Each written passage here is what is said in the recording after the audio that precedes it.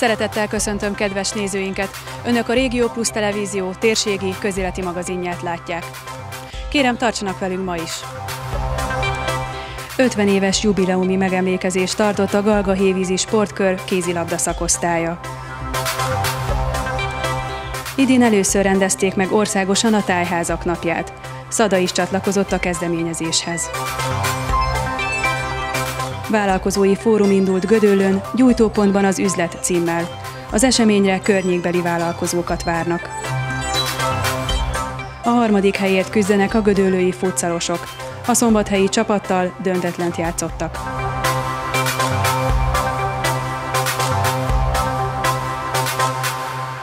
Ötven éve már annak, hogy az első kézilabda csapat megalakult Galga hévízem. Ennek tiszteletére egésznapos rendezvényt szerveztek a községben. Az alapítótagok, a családtagok, egykori játékosok és sportbarátok a temetőben kezdték a megemlékezést. Elhunyt társaik sírjánál mondtak el egy imát. Mi atyánk, aki a mennyekbe vagy, szenteltessék meg a te neved, jön a te országod, legyen meg a te akaratod, amint a mennyben, úgy a földön is. Minden napi kenyerünket add meg nekünk ma, és bocsáss meg védkeinket, miképpen mi is megbocsájtunk az ellenünk védkezőknek, és ne védd minket kísértésbe, de szabadíts meg a gonosztól. Adjon önök nyugodalmat Zsuzsinak, és az örök világosság, tényeskedjék neki, nyugodjon békességben. Sajnos az elmúlt 50 év alatt több játszótársunk, csapatársunknak a hamvai itt nyugszanak a temetőbe. És amikor az ünnepét terveztük, már egy-két éve tervezük ünnepet, akkor azt gondoltuk, és úgy gondoltuk, hogy méltóságos, hogy azt a temetőnkben eltemetett 14 halottat, és majd később esetlegesen a nem galgévizen eltemetett 7 csapattársunkat is látogassuk meg.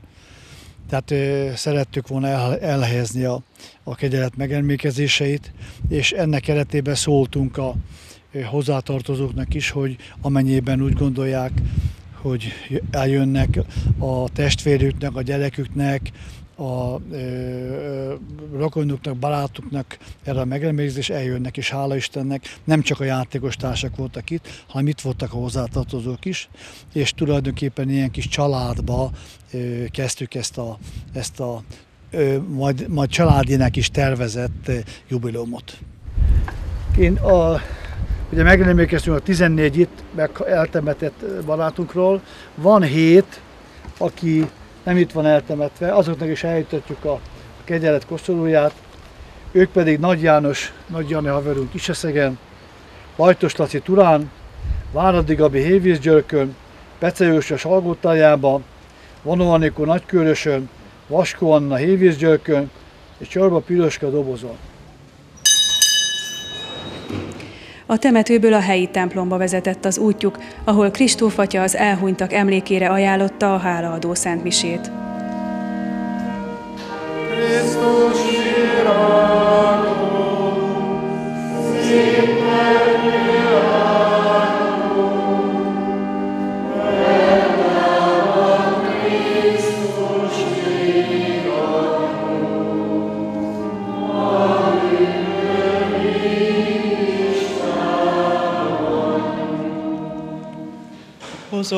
Fiú és a Szentlélek nevében. Ami Úrunk Jézus Krisztus kegyelme, az Atya Isten szeretete és a Szentlélek egyesültő ereje, legyen minnyájatokkal. Közös testvéreim, ez a Szent Mise, hálaadó Szent Mise az 50 éves Galgahévízi Kézilabda Egyesület tagjaiért. Ezen a Szent Misén emlékezzünk is elhunyt Egyesület tag, tagokért. Köztük vannak Benedek Mihály, Csorba Piroska, Darnik Antal, Pácán Zsuzsanna, Gábor Miklós, Hajdu András, Keserű József, Lajtos László, Nagy István, nagy János, Uvári András, Piller Ferenc, Péntér Ferenc, Sápi István, Száros László, Tökési Sándor, Vanu Anikó, Vaskó Anna, Váradi Gábor és Vidák Ródolf. A délutánt gyermekkézilabda mérkőzéssel folytatták, a kartali és a galgahévízi gyerekek mérték összetudásukat. Szurkolás közben a régi játékosok újra átélhették azt, hogy milyen is volt, amikor ők ennyi idősen játszottak. Örültek a találkozásnak, hiszen sokan azóta már nem a településen élnek mi az alapítók voltunk, tenni akartunk valamit a faluért, és egy év folyamba jártunk akkor egy olyan 8-9 ember, aki, aki meg is szerette a kézilabdát, akkor a kézilabda az országosan fellendülőbe volt, és hát úgy gondoltuk, hogy a falu fiatalsága alkalmas arra, hogy, hogy itt a környéken Galgahévíz hírét elvigye megyébe, és a kézilabdán keresztül megmutassuk magunkat, hogy mire vagyunk képesek. Hát az alapítóknak nagyon sok feladata adódott annak idején, például mi építettük az első pályát, úgy saját költségen hoztuk a salakot, építettük a, a, a pályának a szerkezetét, úthengert szereztünk, aki tömörítette, és utána elkezdtünk játszani ezen a pályán. Egy jó kis összetartó fiatalság volt, ahol, aki együtt tanult, együtt járt iskolába, együtt járt szórakozni, és ez a sport, ez kiegészítette ezt a tevékenységet, és hát úgy éreztük, hogy ez nemesebbé tesz bennünket. Az ünnepi megemlékezéshez tartozott egy kiállítás is, ahol hat tablón foglalták össze a Galga Hévízi kézilabda életének történetét 1961-től 1982-ig. Hát gyakorlatilag az általános iskolai ö, tanulmányaim során találkoztunk Benkő Ákos tanárúrral, és a tanár úr volt az, aki a kézilabdát megszerettette velünk, mert azelőtt ugye volt a spontán csapat, de hát mi akkor még meccsre nagyon jártunk ki, elég kis srácok voltunk ehhez és tanáról minden órán, akinek volt egy kis adottsága hozzá, külön foglalkozott, és külön ö, órákon még a, az edzésekkel. Ja, végén ö, már egy 7.-8. koromban heti két-három kézilabda edzésen vettünk részt, és ö, nagyon sok meccset játszottunk például a Gödöllő gimnáziumban is, amikor a gimnáziumi csapatot mi megvertük kisrácok a tanár úrnak a hathatós ö, tanításával, és akkor kerültem én ide a Galgai vízi kézilabda csapatba, Hát emlékeim szerint olyan 16 éves koromban már e, Nagymoroson e, játszottam az első bajnoki mérkőzésemet csereként, tehát nem állandó emberként, de onnantól már egyenesen jött a pályafutásom, tehát én elég sok évet, 1974-ig a Galgai első csapatban játszottam.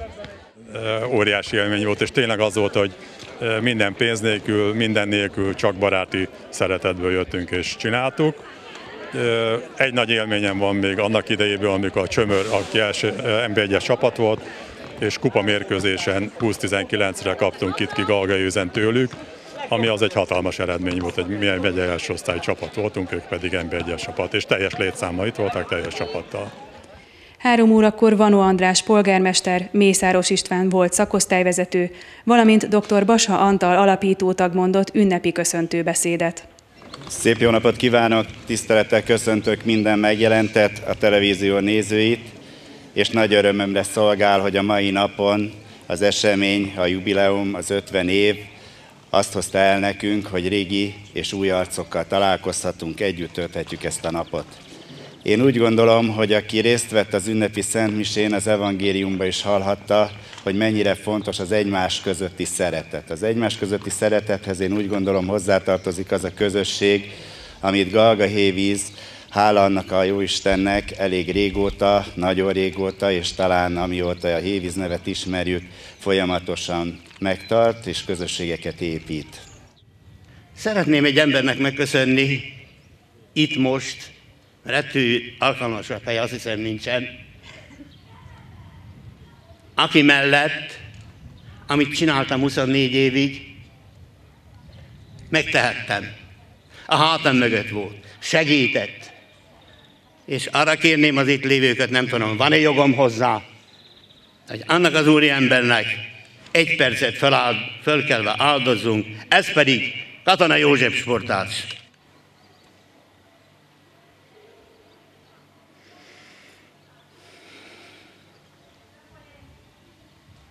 1961. október.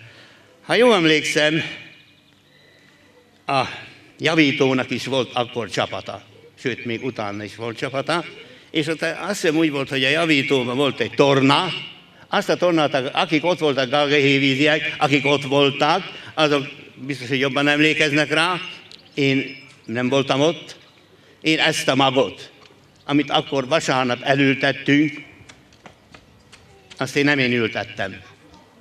Csak a kikelt kis növénykét, azt a nagynál, nagyjánőt fát nyesegettem, gondozgattam, vigyáztam rá. Inkább így mondom, hogy vigyáztam rá.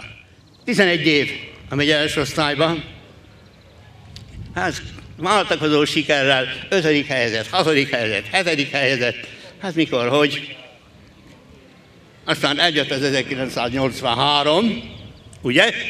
1983, kiestünk a megy osztályból, két csapattal indultunk utána a megye másodosztályba, volt egy Gagai víz egy, Gagai víz kettő, a Gagai víz egy megint megnyerte a területi bajnokságot, megint visszakerültünk a négy első osztályba. És 1984-ben kérem szépen, bekövetkezett a Mohácsi rész. A Mohácsi csatavesztés. Onnantól szünet. Nagy tisztelettel köszöntöm a múlt századból itt maradt kézilabdás barátaimat, minden négy generáció tagját, a tagjait, és köszöntöm a hozzátartozókat, kicsiket, nagyokat. Nekem jutott az a megtiszteltetés, hogy néhány szót szólhatok nektek, szólhatok hozzátok. Erről a vita van közöttünk mindenkivel, Pista bácsival, Hajdó Józsi havarommal, hogy ez 51 év, 52 év, tehát ez 2013-ig mennyi év telt el. Abban maradjunk, hogy néhány évtized eltelt. És olyan jó 2013-ban visszaemlékezni, hogy valamikor voltunk fiatalok is. Én szeretném mindjártoknak megköszönni azt, hogy, hogy 50 év után is ilyen szeretettel gondolunk erre az elmúlt évekre. Mert azt gondolom, és olyan sokat beszéltünk, de én azt gondolom, hogy mi valamit teszünk is érte, olyan sokat beszéltünk egymás szeretetéről, hogy ez a csapat akkor is e, e, szerette egymást, és jó, jó hát persze voltak üzék, veszekedések, de hát melyik csapatban nincs veszekedés. És ugye jöttek az évek, dolgoztunk, mindenki csinálta a dolgát, és mellette, hál' Istennek, mindenki megtalálta a számításait. Az ünnepi beszédek után emlékplaketteket és emléklapokat adományoztak a vezetőknek, az alapító tagoknak és a játékosoknak. A továbbiakban női, illetve férfi kézilabda mérkőzéseket láthatott a közönség. Természetesen a rég nem látott ismerősök az egész napot végig beszélgették. Hát a legvégebbi időkre emlékszem közvetlen, amikor hát, mint alapító tag, de ifistaként voltam alapító, mert itt az előttem lévők a Jóskáik, Tóni, Basadokék voltak a egy korosztályjal öregebbek három éve. Pályát építettünk, például itt lovaskocsival hordtuk az agyagot, terítettük a salakot, még a régi gyepes pályán, a foci pályának egyik sarkába messzeltük mérkőzés előtt a, a, a vonalakat. Tehát ezek jutnak eszembe. Későbbek folyamán aztán rengeteg sztori van, mikor vidéken voltunk kézilabdázni, hát, bohémek is voltunk, a szórakozásra mindenféle lehetőséget megragadtunk. Tehát ilyen élmények vannak. Össze voltunk kovácsolódva, és, és, és jól éreztük magunkat egymás társaságában. Tulajdonképpen, ahogy itt már az elején elhangzott, önszervező módon indult el innen a, itt a faluban ez a, ez a sportélet, és ez óriási összetartást adott az embereknek. Többek között én például azért lettem testnevelő tanár, mert az akkori itt dolgozó testnevelő tanár a Benkő Ákos, akiről már szó esett a héten, illetve a mai nap nem először, ölte belénk, ez az ölte rosszul hangzik, de, de belénk verte azt a sportszerezetet és azt a fajta összetartást, amitől ez a csapat olyan volt, amilyen. Ettől lett csapat ez a csapat ez működött sokáig. És azért lehet látni, hogy igaz, hogy már 30 éve nincsen aktív kézlabda csapat Galgahévizen, mégis összejöttek az öregek, fiatalabbak, fiúk, lányok, minnyáján. Tehát egyébként, hogyha egy kicsit kibővítenénk a társadalomra, az a fajta összetartás, az a fajta csapatszellem, az a fajta összetartozás, az nagyon hiányzik ma a világban. Szeretné-e, hogy ismét legyen ilyen aktív kézilabda csapat Galgahévizen? Én szeretném, igaz, hogy én menet közben elkerültem innen egyetemre, de aztán visszajöttem, egyetem végzése után újra bekapcsolódtam az életbe, de hát sajnos kiörögettünk, az utánunk következők, azok úgy látszik nem volt annyi kitartás bennük, és tehát nem csinálják, nem tudják. Én nagyon szeretnék, mint vállalkozó, én szívesen áldoznék is egységnyi magyar forintot erre a célra, mert lételem nem nekem is a, sport, ha bár most már nem gyakorolom ezt a részét legalábbis. Az újonnan elkészített Galgahévízi Sportegyesület csapatzászlójára feltűzték a kézilabda szakosztály szalagját is. A képviselőtestület fontosnak tartja a Galgahévízi sportélet támogatását. A képviselőtestületek folyamatosan letették a nagy esküt, hogy a sportot nem fogják engedni, hogy abba maradjon Galgahévizen. Így történik ez minden szakággal, és nagyon szeretnénk, hogyha a kézilabda is ezzel folytatódna, hogy nem csak a jubileumokat, hanem magát a kézilabda szakosztályt is újra tudnánk indítani, és az ősökhöz méltóan Galga Hévíz ki tudna állítani akár férfi, akár női kézilabda csapatot.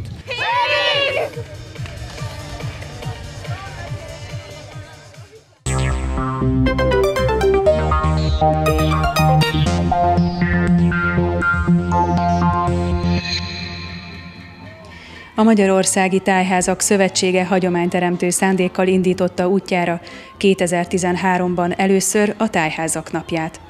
Céljuk, hogy Szentgyörgy napjához kapcsolódóan a tavaszi állatkihajtás egykori emlékeire, a természet és az emberek újjászületésére felhívják a figyelmet oly módon, hogy a tájházak a megszokott látnivalók mellett izgalmas, színes programokkal, kuriózumnak tekinthető egyedi lehetőségekkel várják a látogatókat. Szada csatlakozott a kezdeményezéshez, a tájházban több programmal is várták az érdeklődőket. Ma tartják először a tájházak napját országszerte. Miért tartotta fontosnak, hogy Szadán is megrendezzék ezt? Hát gondoltam, hogy miért ne próbáljuk ki. Ennek semmilyen hagyománya nincs. Nem tudjuk, hogy mennyien érdeklődnek, ha beválik, akkor hagyományát tesszük. Mert van egy ilyen dolog, hogy egy tájház önmagában egy döglött dolog. Tehát tárgyak vannak kiállítva, egyszer elmennek, megnézik, jó de valahogy élővé kell tenni. Tehát az a jó, hogyha ott rendezvények vannak, visszatérő rendezvények vannak, tanulni való van. Belépők először kaptak három kérdést, amire válaszolni kellett, és az fel jogosítja őket, hogy akkor körbenézhessenek. Fő attrakció az a Kovács műhely, de volt egy kis táncbemutató, énekbemutató, sütik a lepénykét, meg a görhenyt, gyöngyöt fűznek a gyerekek. Az időszaki kiállításon Gönyei Sándor szadáról készült fotói láthatóak. Novák Lászlóné Margit, a tájház vezetője nagy szeretettel beszélt a fotókról, hiszen azok a szadához köthető hagyományokat és neves eseményeket rögzítették. Gönyei Sándor nagy magyar néprajzos volt, aki a 1930-as évek végén, 40-es évek elején gyűjtött és fényképezett Szadán és ezek, ezek a képek a Néprajzi Múzeum tulajdonát képezik, és az ő engedélyükkel állítottuk ki, és majd ebből lesz egy füzet is, amit majd a szadaiak is megismerhetnek minden család. Ellentétben egy korábbi kiállításunkkal, ami első világháború alatt készült fényképeket tartalmazott, a mostani kiállítás szereplői közül még többen élnek, és azonosítható, hogy ki kicsoda, és olyan is van, hogy híre van, hogy valaki önmagát megtalálja itt a fotókon, és ez is történt. Hány éves volt ezen a kép? Kettő. Két éves. Ez akkor készült, mikor ez a lakodalmas volt. És az édesapja van ott még a széken? Nem, az a nagyapám már is dédpapám, nem nagyapám, hanem dédpapám. És meddig járt népviseletbe? Meddig? 20 éves koromig. 20 éves koromig akkor bekerültem, sőt nem, előbb, 18. Mert bekerültem a kinoimba, ott dolgoztam, és akkor hát a pesti lányok megszedítettek. Ki is kaptam szegény édesanyámtól. Ez a négy kép a szadai gyermeklakodalmast ábrázolja. A gyermeklakodalom Magyarország több táján honos volt, tulajdonképpen gyerekek összegyűltek, és a maguk módján lejátszották a felnőttek lakodalmát. Ezt itt a Gönyei Sándor kedvéért rendezték meg, és abban különbözött még a többitől, hogy erre, ehhez még muzsikust is szegődtettek. Szadán nem volt muzsikus, hogy egy veresegyházi cigány ember, aki ott muzsikál. Ezek a szadai emberek, nagyon sok szép viseleti darabbal, Gönyei nagyon tudatosan fotózott, mindig kedvéért felvették azt a ruhát, amit ő kért. A férfiak a szép sújtásos huszárkájukat, a gubákat. Hajviselet is látható. A hajfonás pedig megjelent a rendezvényen is, hiszen a látogatók haját szívesen befonták úgy, ahogyan azt régen a szadai lányok hordták. A lányoknak, mivel hosszú hajuk van, ilyenkor nagy melegben jobb, ha föl van tűzve a hajuk. És ugye a fonás az mindig egy régi ősi bevett szokás, hogy minél szebbek lehessenek a lányok. Ez a haja az éke az embernek, és a hosszú haj ugye eredendően a, a jóság, bőség jele volt régen, és minél szebben fel tudták a lányok kontyozni a hajukat a bába, annál kívánatosabbak voltak a fiúk számára. És azt próbálom a lányoknak, hogy a szép hosszú hajukból hogyan tudnak szépet csinálni maguknak. Volt a szadai kontynak valami sajátos elkészítése? Hát a kontyról én nem tudok, viszont a fonás volt egy tipikus fonásuk, amikor két oldalt megsodorták a hajat, és utána középen egy fonatba végigfonták a hajukat. Ez tipikusan szadán így, így szokták régen fonni a hajukat a lányok. Az ezredfordulón választották ki a jelenlegi épületet arra, hogy létrehozzák a szadai tájházat. A mindenkori munkatársak a 70-es évektől szisztematikusan gyűjtötték a tárgyakat, így alakult ki a mostani paraszti interiőr. A vőlegényviselet az tulajdonképpen a múlt század elejétől, vagy elején, de még a 19. században jobban divatos, már Szabó mester által készített huszárkának nevezett zsinóros öltöny. A lányok fehérbe voltak, fekete harisnyával, és hát a bodos kendő ugyanúgy rajtuk van, mint, mint korábban, és nagyon érdekes a mennyasszonyi koszorú, amit olyan becsbe tartottak, hogy utána egy díszdobozba mindig a felvetett ágy, a díszes ágy fölött őrizgették nemzedékeken keresztül, mert az nagyon nagy dolog volt, hogy ez volt a dédanyám mennyasszonyi koszorúja. Tulajdonképpen ezek a viseletek nem ősiek, a 19. század végétől, főleg a 20. század elején teljesedtek ki, színesedtek ki, váltották föl a kendervásznat, a kendervászonból készült inget gatyát, és egyre több szép gyárban készített szövetből, anyagból, alakította ki tulajdonképpen minden falu a saját viseletét. Hát itt is, amit látunk, a, a nagyon szép öregasszony viseletben semmi, tehát helybe varták meg, de minden, látható, hogy minden gyári készítmény. Híres, ami, ami itt ebben a szobában érdekes lehet, elég híres, tavaly könyv is jelent meg róla a szadai fehérhímzés, annak egyes darabjai láthatók a sublóton, és hát a szadaiak büszkeségén a felvetett ágynak a pár nap ügyein, pár nap végein.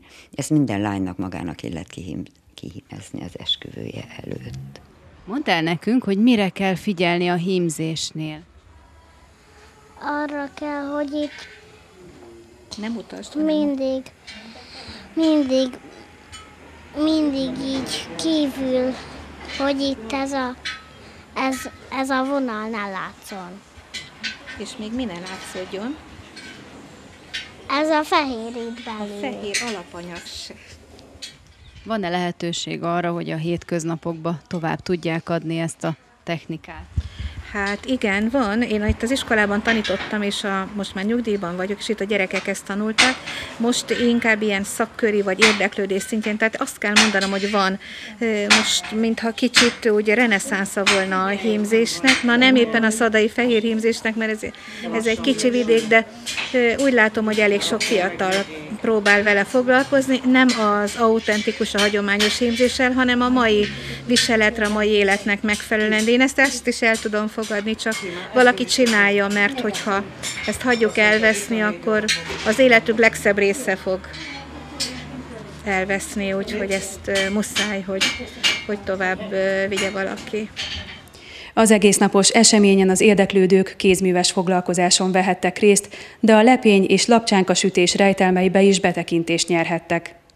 Hát ez kenyértésztából készül, lepényke, tehát kenyérlepényke. Hát ez úgy készül, mint ahogy anyáink régen, a, meg hát azért, ahogy most is a kenyeret sütik, kovásszal, sóval, egy kicsi krumpli pehelyjel, hogy finomabb, puhább legyen, és akkor ki, meghagyjuk kelni, mikor jó hólyagosra kidolgozzuk, meghagyjuk kelni, és akkor utána kisodorjuk vékonyra, akkor még egy picit kelesszük, és akkor így kisütjük, és hát ez fokhagymással, lekvárral, bármivel nagyon finom, egy kis kolbászkrémmel, egy kis éjségcsillapítónak ugye ez régi dolog, és ezt hát ilyen hagyományőrzéskor szoktuk csak csinálni. Na látunk itt a tálban mást is. Mi ennek a neve? Mi ez a finomság? Hát ez, ez lapcsányka, vagy krumpli görheny. Ugye régen ezt is csinálták az elődeink, meg hát azért most is csináljuk, mi is csináljuk, mert egy-egy tejás vacsorához nagyon jó. És mi van benne? Miből készül? Hát ez reszelt krumpliból, lisztből, tojásból, és sóbors. Ebből készül egy jó kis alapanyag, egy kis jó összeállós, és akkor olajba kisütjük. Kanállal beletesszük serpenyőbe. Régen az elődeink tepsibe sütötték, sporheltba, de hát már ennyivel modernabb a tudomány, hogy mi már csak így sütjük, kanállal benne serpenyőbe. Nagyon népszerű volt a Kovács műhely bemutató. A tájház vezetője elmondta, hogy ma már nem dolgozik Kovács a községben, az itt található szerszám, felszerelés Tóth Sándor kovácsmesteré volt. Hát most egy patkókészítés folyik éppen, az van folyamatban, aztán várjuk most, hogy melegedjen a vas. Mi ennek a menete? Először is levágjuk méretre a vasat, utána elverjük a két végét, aztán beleütjük a szegárkot, és utána kiukazgatjuk a szeglyukaktak, és a legvégén húzzuk rá a kápát. A rendezvényre az egész nap folyamán több száz érdeklődő látogatott el, így valószínűleg jövőre ismét megrendezik a településen a tájházak napját.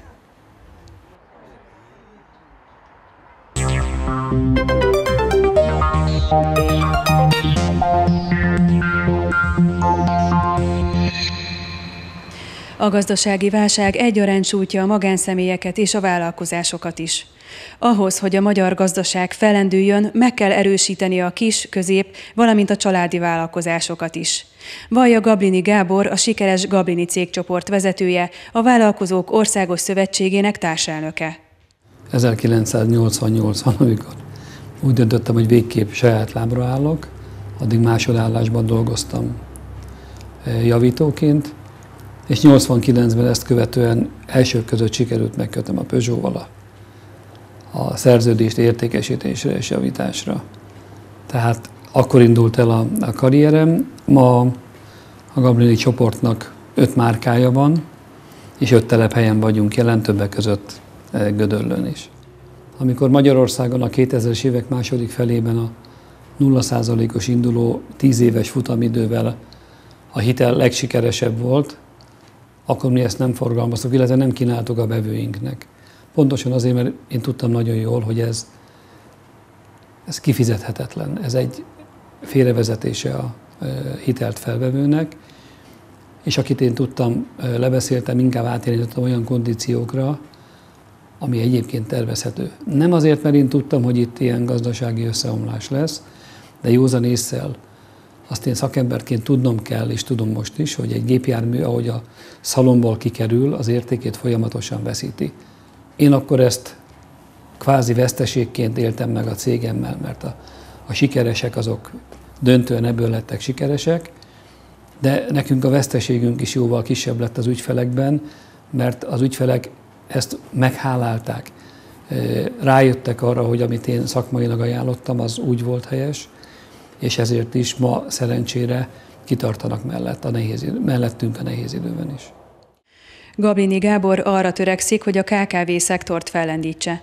Éppen ezért fontosnak tartja, hogy egy olyan párbeszédet indítson el a résztvevők közt, ami elősegíti vállalkozásuk fejlődését. Azt tapasztaltuk, hogy az elmúlt években Magyarországon a veszteségek döntő részét a kis és közepes vállalkozások voltak kénytelenek elviselni.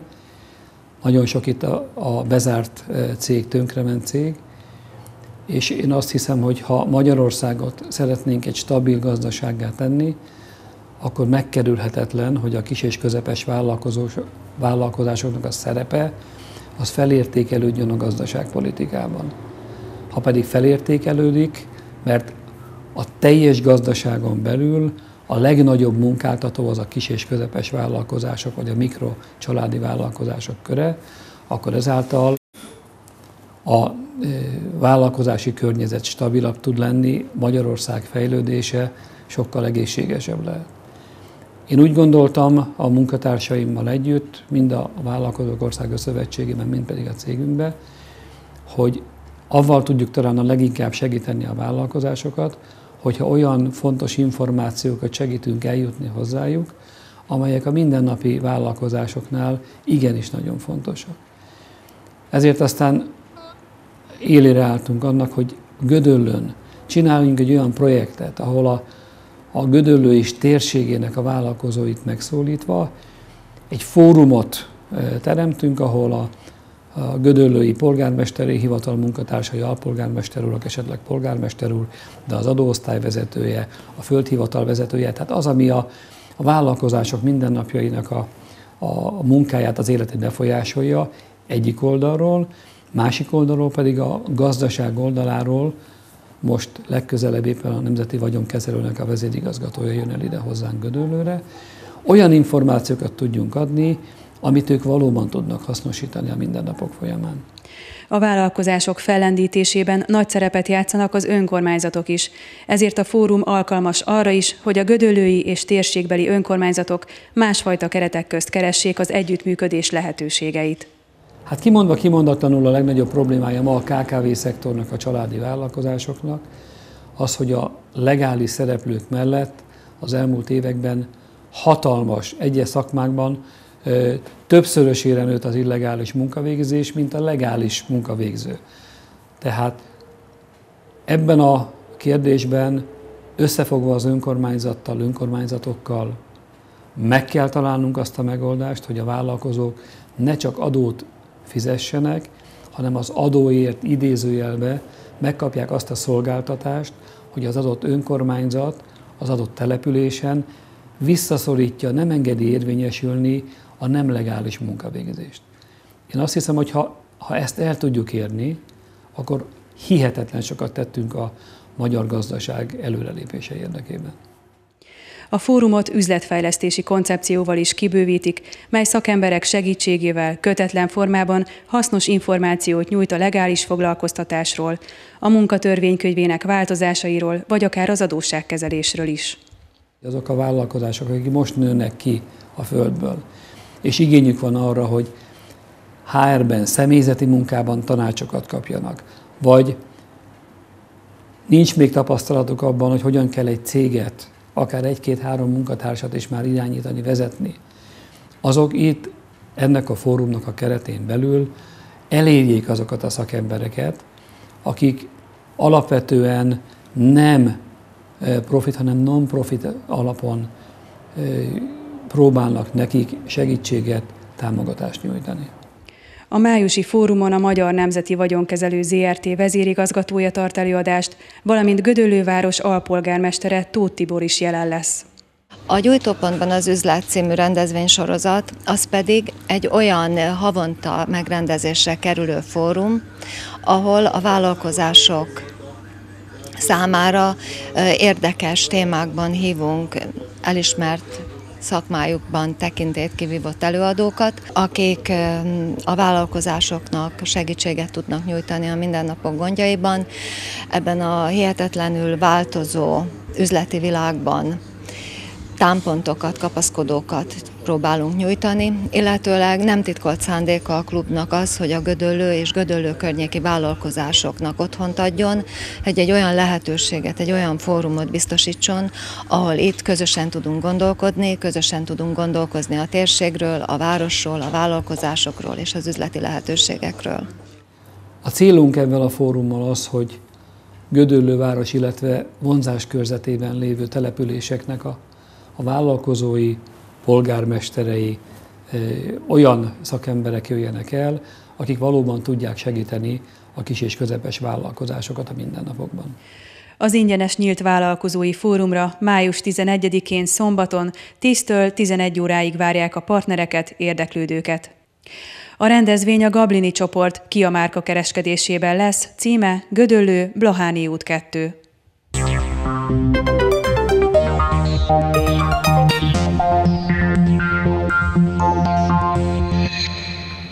A felsőházi rájátszás hatodik fordulójában a szombathelyi haladás volt a gödöllői bikák ellenfele.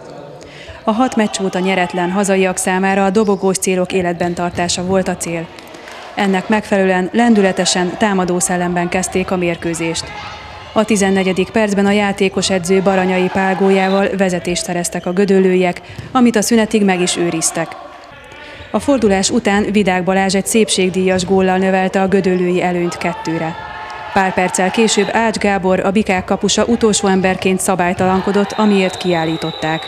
A két perces emberhátrányt remekül abszolválták a hazaiak, hiszen Baranyai Pál ismét betalált. Ám a vendégek is értékesítették a sokadik helyzetüket, így három egyes állásnál egészülhetett ki a gödöllő. A hátralévő időben végig vészkapussal játszó haladás két gólt is szerzett a hajrában, és ezzel pontot rabolt a gödöllői együttestől. Horváth Leventével a vendégek vezetőedzőjével állunk itt a mérkőzés után. 3-3, de talán felérezett győzelemmel. Így van, érdekes mérkőzés volt, 3 0 álltunk föl. Az első fél időben felállt védekezés ellen egyik csapat se tudott a másikkal mit kezdeni, sőt ott ö, körülbelül nekünk volt négy kontrasanszunk, amit nem tudtunk kihasználni. A Gödöllőnek egy volt, az betalált. Második fél időben egy kicsit feljebb kell tolni a védekezésünket. Ezt könyörtelenül kihasználta a Gödöllő. Vidák egyéni alakítása gyönyörű gólt rugott, talán még a kispadunkon is kicselezett pár embert. Utána 2 0 jöttek föl, utána egy kontrából nekünk volt egy zicserünk, amiből kapus ö, sukat labdákat kiállították, 5-3-mal próbálkoztam, amiből labdavesztés után még az ellenfél tudott gólt szerezni, ez kellemetlen volt, de még ezt tudtuk korrigálni, még három mezőnyjátékossal volt az ellenfél, visszajöttünk a mérkőzésbe 3-1, maradtam a, a vészkapusos szisztémánál, 5-4 hála Isten ült, jól játszották a fiúk, visszajöttünk a meccsbe 3-3-nál, akkor már öt faltunk volt, el is érte az ellenfél, kiharcolta a, a faltot, az Ukhi, hála Isten a kapusunk fogta. A 10 méterest, így van, ahogy mondott, tehát azért 3-0-0 döntetlen tudtunk elérni Gödöllön, egy jó csapat ellen meg vagyok elégedve de úgy tűnt itt a végén, hogy győzni szeretnének, hiszen a, a vészkapus taktika maradt 3-3-nál is. Így van, itt már veszteni valónk nincsen, felszabadult a játszhatunk, nekünk a hatodik hely, az volt a célba kerüljünk az első hat közé, előbbre se tudunk kerülni, hátrébb se tudunk kerülni, 3-3-ra visszajöttünk, múlt héten 2-2-t játszottunk, tehát próbáltuk megnyerni a mérkőzést. Sajnos volt ott hiba a forros játékban az utolsó egy percben, ami, ami az ellenfél élhetett volna vele, hála Istenő nem tudta kihasználni, így maradt 3-3-as döntetlen. Ugi a Gödöllői Bikák csapatkapitány állít kameránk előtt. Én úgy gondolom, hogy az egyik legjobbja voltál a Gödöllői csapatnak. Mi okozta azt, hogy három gólos előnyből végül is az ellenfél felállt? Hát nagyon sajnálom, hogy így alakult a vége, mert én is úgy éreztem, hogy ezt a mérkőzést ezt meg kell nyernünk. Maga biztosak voltunk odáig 3-0 után. Én úgy gondolom, hogy utána volt egy-két egyéni hiba, amiből gólokat kaptunk, és a végén, amik, akik látták a mérkőzést, a végén azokat a zicsereket, lehetőségeket, amik voltak nekünk, abból illet volna berúgnunk még legalább egyet, és akkor biztos, hogy mi nyerünk. Én azt mondtam a közvetítés során, hogy ez az ember hátrányos két perc az fordulópont lehet, hiszen hogyha lehozzuk úgy, hogy egy gólt kapunk maximum, akkor még bármi is lehet. Ennek ellenére gólt rúgtunk, és ember hátrányból szereztünk vezetést, mégis ezután megtorpant a csapat.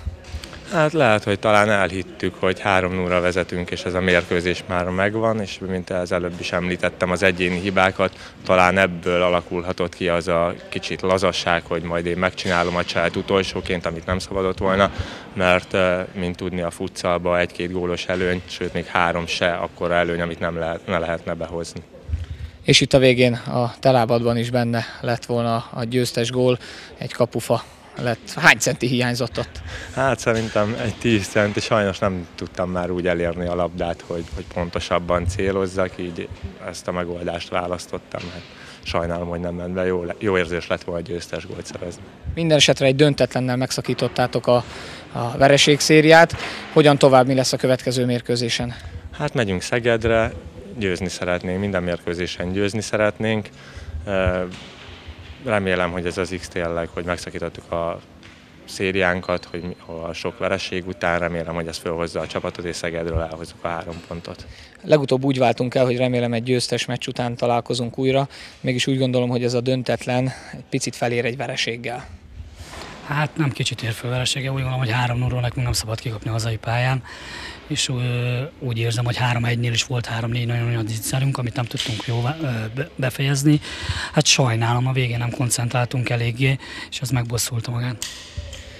2-0-nál pedig azt gondoltuk, hogy ember hátrányból, amikor gólt szereztél éppen, hogy, hogy ott, már, ott már nem lehet gond, hiszen hogyha egy csapat ember hátrányból gólt tud szerezni, onnantól nem állítja meg senki, ez mégis megtorpant egy kicsit a társaság. Én is úgy érzem, hogy egy kicsit kiengedtünk, ami nagyon nagy baj volt. Főleg egy-két játékosom kiengedett, ami hetek óta ez van, hogy, hogy egy-két ember úgy gondolja, hogy ő csak eljön ide főhozza ezt a pályára, és nem tesz meg mindent azért, hogy a másik 8-10 ember nyerni tudjon. Én úgy gondolom, hogy ezen változtatnunk kell azoknak, akiknek nincs kedvük itt futballozni, azok ne jöjjenek el többet. Én úgy, úgy érzem, hogy, hogy akik nem akarnak a gödöllőért futballozni, annak nem kell itt játszani. Hogyan sikerült egyébként a felkészülés erre a mérkőzésre az előző találkozó után?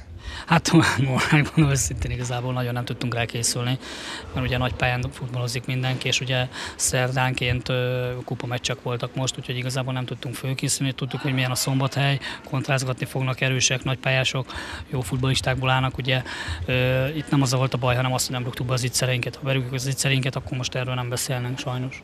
Az előző mérkőzéshez mindenképpen, mérkőzéshez képes mindenképpen azt vettem én észre, hogy sokkal offenzívabb, támadóbb szellemű játékot játszunk és lendületesebbek vagyunk. Sajnos nem sikerült kihasználni. Mi a következő állomás, hogyan tovább?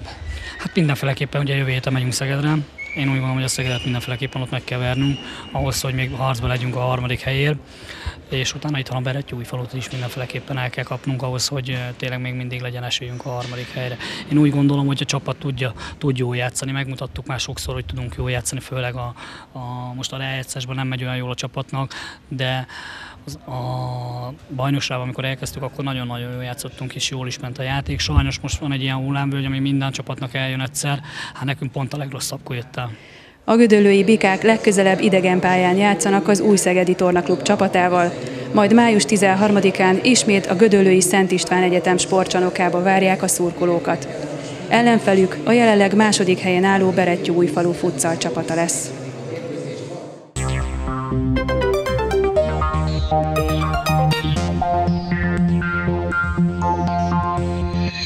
Köszönjük, hogy ma is velünk tartottak. Önök a Porta magazin 85. adását látták. Témajavaslataikat, észrevételeiket várjuk továbbra is a képen látható elérhetőségeinkre. Eddigi adásainkat megtekinthetik honlapunk videótárában, valamint a Facebookon is követhetnek bennünket. Várom Önöket jövő héten is, a viszontlátásra!